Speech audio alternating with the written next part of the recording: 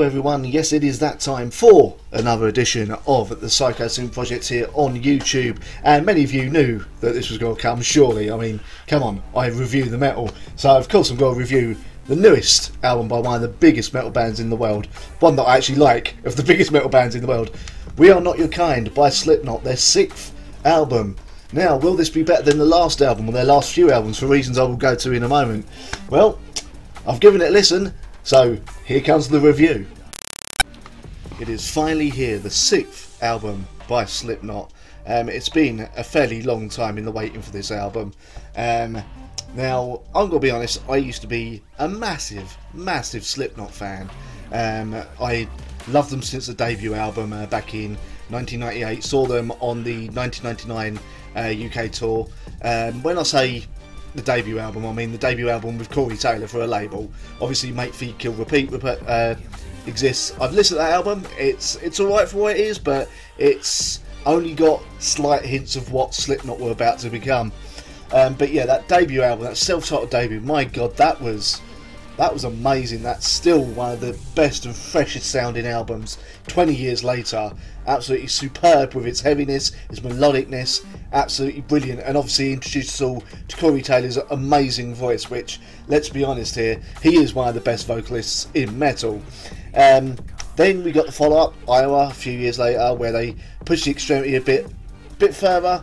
Um, now, I'm one of those weirdos who didn't really think Iowa was amazing.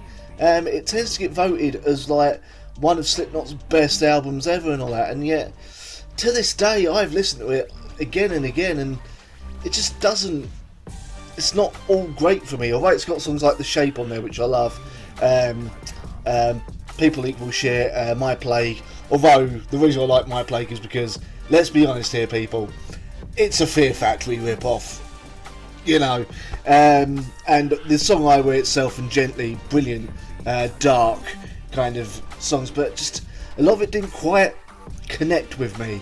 So I started my love for Slipknot kind of waned just just a smidgen, just a smidgen, and then they released Volume Three, and I absolutely love Volume Three. I think it is one of their best albums they've ever done. I loved that they were going experimental. Um, change their sound, sorry, take their sound further and really examine these different avenues of where they could take Slipknot instead of kind of being stuck to doing the same album and again and again, which is something they have pretty much stated they never want to do. Um, so Love Volume 3 was really, really looking forward to the next album. Heard Psychosocial come out. Quite enjoyed that, I'll admit. Quite enjoyed that song. Then All Hope Is Gone come out. Oh dear.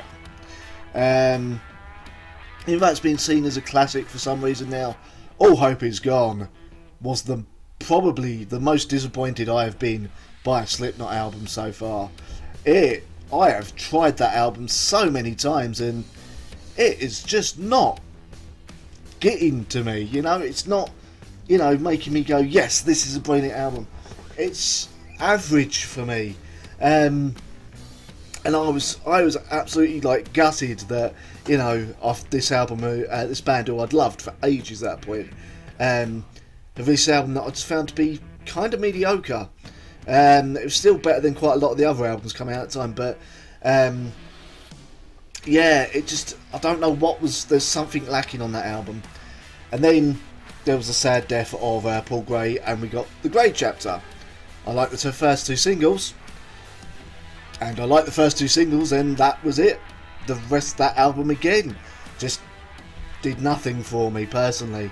Um, I admit my taste in music is weird. My taste in metal can be very weird at times.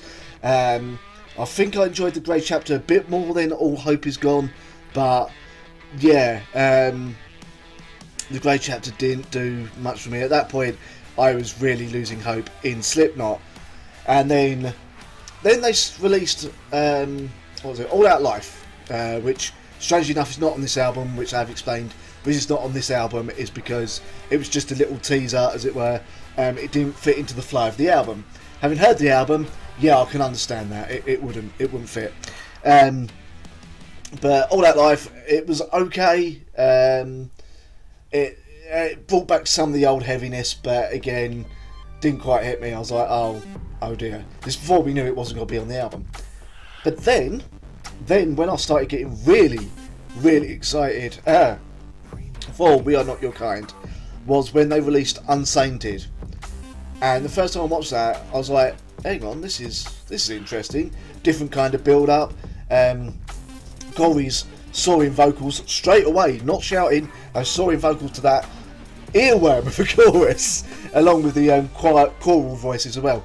I was like, yeah, I'm liking this. Then it just kicked you like a punch in the gut, and that I listen to that song over and over, and I am absolutely fucking love Unsainted as a song. Um, and then Subway, and I was getting excited about the album. I thought, you know, if the rest of the album follows this, then brilliant. Then about a month ago, Solway Firth come out. Wasn't so impressed with that one, I have to say. Um, but I thought, you know what, I'll give the album a go because you know, hopefully there's other songs at least along the same lines of Unsainted where they're taking their sound in a different direction again. Considering how much I love Volume Three, yeah, let's give it a go. So here we are. We are not your kind. Um, and we kick off with the usual, like the traditional Slipknot um, kind of mood setting instrumental track, as it were, in Insert Coin. Then we go into Unsainted. I think I've kissed Unsainted's ass enough at this point on this review. Uh, then we come Birth of the Cruel, and yeah, you can hear from Unsainted Birth of the Cruel that this is indeed going to be a dark yet somewhat melodic uh, Slipknot album just the way I like Slipknot. Um, then we get another sort of um, interlude called Death Because of Death, which isn't too long, and unlike where I've uh, raged about it before on previous albums, uh, not for Slipknot, in general this year, um, the interludes on here are used sparingly and are actually worth being there. It has to be said. Then we come to another favourite song of mine, Nero Forte, which may end up as a single, it should do. Really, really enjoyed the song again. Bit along the lines of Unsainted, really enjoyed it. Critical Duck, Darling, brilliant. The first song that was a bit of a nadir for me, A Liar's Funeral. I mean, all the elements are there, but on the first listen, A Liar's Funeral kind of dragged a little for me. Then Red Flag comes on, kicks off again. Spiders with another really good song, and Orphan. Um, not long for this world, I really enjoyed as well but it ends on Solway Firth, which even on second and third listen, still not, still not quite connecting with me. However, however, if you are like me, you've been somewhat disappointed with the last few Slipknot offerings, I can 100% recommend this album. They're experimenting with their sound again, they're stretching their melodic and heavy muscles, sort of stretching where they can go with their sound, and it is a very, very good album indeed. Um, I would recommend you to listen to it, even if you haven't listened to Slipknot in a long time. Give it a go. You might find something you'll like. I'm glad that Slipknot finally made an album that I like again all the way through, for the most part. Because um, even I said about those two, three songs on there, drag it down a little bit for me. That's on the first listen. So, you know, over time they'll probably grow on me. Um, so, all in all, uh, Slipknot's newest album, their sixth, We Are Not Your Kind, gets four and a half out of five from me. So there you go. That is what I thought of "We Are Not Your Kind" by Slipknot. Honestly, go pick it up. Um, I know there's a boxed edition, special box edition that comes with um, a shirt that I was tempted to get, but I thought, you know, considering how I feel about the last two albums, um, I didn't want to buy one with a shirt and then find out that I hate the album. Thankfully, that obviously was not the case if you've just heard over the last eight minutes of me waffling on. Um, so, yes, the album is out now. It came out uh, on Friday uh, here in the UK, which was yesterday at the time of recording. Um, and yes, it is absolutely worth your money if you do indeed like your metal. Um, anyway, I have been uh, Psychosin, almost said Slipknot then. Um, not Slipknot. Um, I am Psychosin. This has been the Psychosin Project. If you want to support the channel, the um, link to the Patreon or what you got type in is just there. Um, feel free to go there, help support the channel, help me to bring you more videos and all that as well. Always a pleasure. I want to say a massive thank you to my Patreons, um, especially Attic Ghost for being a well, he's been a patron for a good year or so now. So cheers, man. Go check out his channel, Attic Ghost. Absolutely awesome. He's currently um, at Meraluna uh, I do believe. Hopefully, he's doing another video documentary thing there as well. So uh, look forward to that. Anyway, I've been Psychosin. This has been the Psychosin Project, and I'll see you next time.